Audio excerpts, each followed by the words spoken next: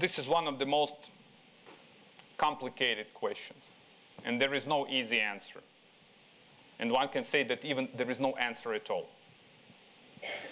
If, if I may to ask you, let's just avoid the language of separatists. There are no separatists. There are just Russians and Russian-led terrorists. And this is the right legal definition.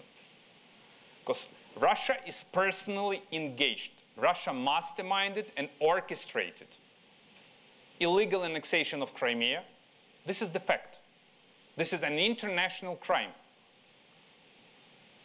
Uh, there is a word that Russia is to pay the price. You know, usually we pay the price in the supermarket. Russia is to be punished by the international law for the illegal annexation of Crimea. And for me, this is both political and personal issue. I was Minister for Economy in Crimea. And all these rumors that there were entirely pro-Russian sentiments in Crimea, that's not true. So what we have on the table, the only deal which is still viable is so-called Minsk deal. Is it fine the time to elaborate on this? Because you raised the hand. If you want to get the answer on what's going to happen in future in terms of uh, Russian-led invasion. Uh, we do understand that Russia is not willing to implement the Minsk deal. But the policy of the president of Ukraine and of the Ukrainian government is as follows. We are whiter than white in implementing Minsk. What the president promised, we did. The president promised to sign an executive order, a ceasefire order. He did it. We passed an amnesty bill. He signed it.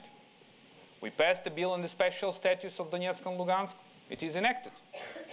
Uh, we promised to start constitutional amendments, and the president is to address the House tomorrow with his constitutional amendments, which are in line with the Minsk deal.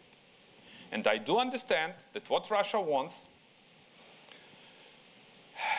Russian play is to blame Ukraine for not implementing the deal and saying, look, that's Ukraine who failed. That's the reason why we drop off this deal. No chances to no avail. We will be the last one who is to say that Minsk is dead. No.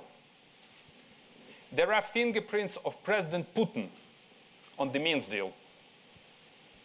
So he is obliged to implement the deal and uh, uh, Madam Merkel, Chancellor Merkel and President Hollande, they contributed a lot of their political capital into this deal. They did a lot to make this deal happen. And we are to stay united and to act in concert in, in, to make Russia to implement and fulfill the deal. What is the aim of Putin? Definitely not to make Ukraine happy. His aim is to resume something that resembles Soviet Union. His aim is to take over Ukraine. His aim is to dismantle Ukraine as a nation, as, an, as a country. What's happening in Ukraine is not just related to us. This is the global challenge. It relates to everyone sitting in this room. Russia is the threat to global stability and security. This is not the way how P5 member can act. They have to change their policy, or we have to change their policy, and to, to, to get one united, strong policy towards Russia. The only language Putin understands is strength. So let's be strong.